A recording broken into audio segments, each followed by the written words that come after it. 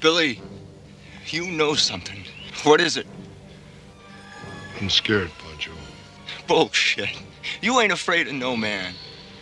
There's something out there waiting for us. And it ain't no man.